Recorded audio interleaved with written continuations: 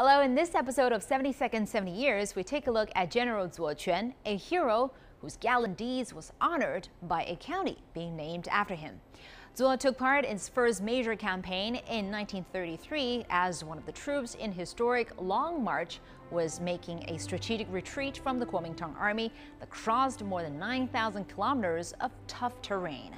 However, he earned his fame for his role in aiding Commander Peng Dehuai in the 100 Regiments campaign in 1940, the biggest attack led by the Chinese Communist Party against the Japanese army during the war.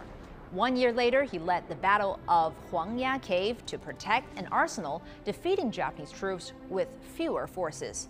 Zuo was injured in a Japanese airstrikes in 1942 and died soon after.